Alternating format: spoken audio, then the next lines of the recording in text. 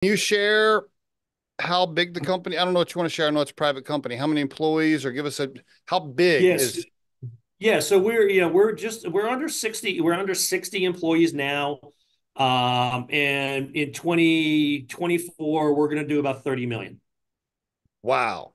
And this and and that'll be your what eighth, ninth? uh, How many years? Oh, well, four years. That's our fourth year. Because keep in mind, we, we yep. Holy Four- cow. Okay.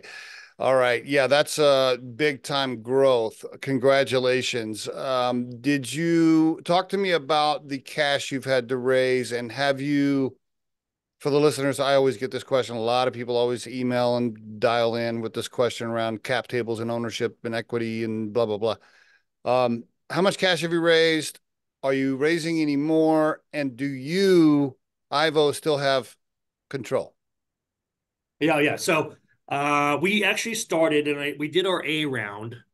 Um and we started the A round in 2020, right? We started the A round in 20 and we were slotted, we were raising 5 million dollars. Okay. And 5 million dollars and we were giving a we were given a 40 million dollar valuation. We raised it at a dollar a share. Okay? Okay. Wow. And we that was oversubscribed. It, it and the other thing is it's very hard. There's a lot of people out there that say they can raise capital, and you and they really don't, right? They really don't. It, it and it took me it, it took me some time to find the right people, right? That and and, and my advice to anyone that's going to raise capital, you have to go to someone that has done it before and been successful at it because there's a lot of people. So you have to look at their resumes you have to look at their success and and we brought in and it goes back to having the right people right? So we went in and, and we brought in some people that have done it just closed a significant uh, ipo uh, a merger. So they had you know they were successful and and when you're raising capital and you're going with someone you know they have their you know they have their investor pool. They have their group of people that they go to right? So if you're just going out net new and hiring someone and saying i'm going to raise capital you're in for a lot of work. So and it and it, and it literally took me like seven to nine months to figure that out. And then once i figured it out that hey i'm just you know throwing spaghetti and i want to be more surgical we found that you know we found the right team and they raised the capital pretty much in short order and to the point where it was oversubscribed uh, we oversubscribed by three million. We ended up raising eight.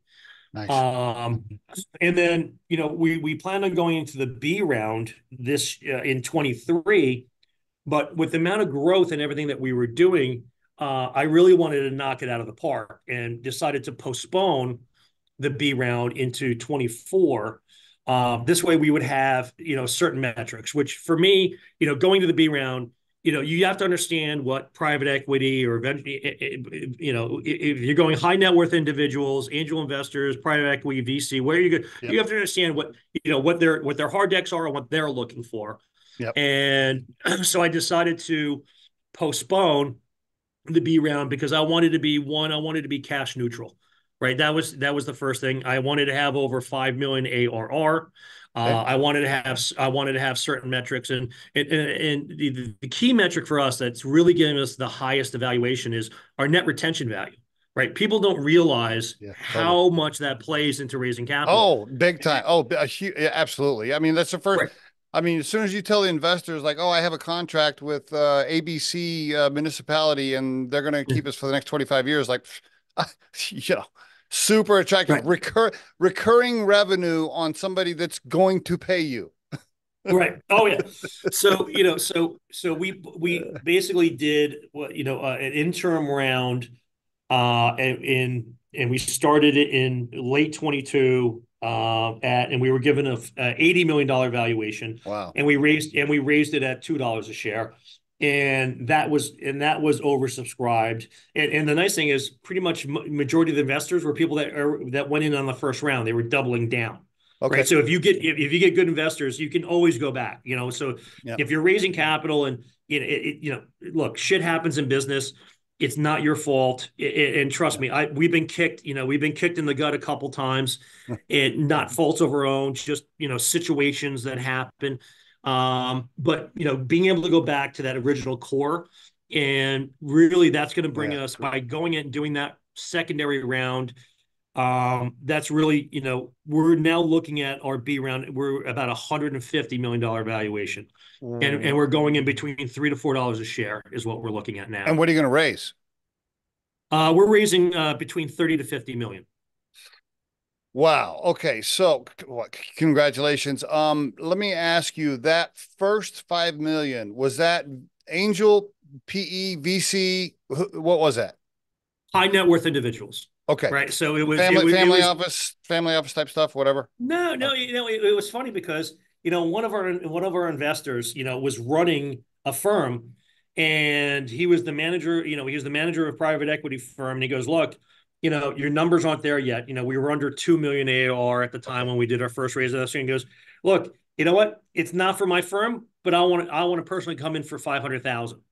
You know, so never underestimate. The more people you talk to, it's like it, yes. it's it's it's it's like dating. The more no's you get, the more yeses you get, right? so, and, and you know, and that really worked out for us. And you know, we had some really really good people that came in uh, that believed in what we're doing. You know, we're you know we're we're saving lives.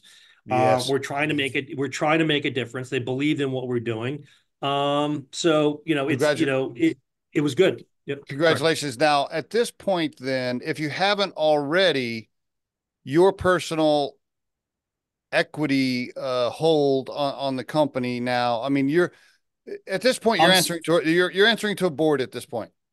No, I still own sixty seven percent of the company. Okay, not after you raise fifty million, you won't. well, no. So after after when I raise that, uh, I actually I'll be at fifty one percent ownership. Are you at that point? Are you are you shitting me? You're going to end up no. raising you're you're going to end up raising another what'd you say 50 million on this next round is that what you said 30 30, 30 is the baseline 50 okay, okay. 50 is the max the 50 is the max i'm going to go because i want to maintain 50 because i want to maintain 51% i have companies that want to offer me more want to give me more money but i'm not taking over that so. yes high five and that is probably the biggest highlight of this episode so far that's to be the that's to be the highlight clip right there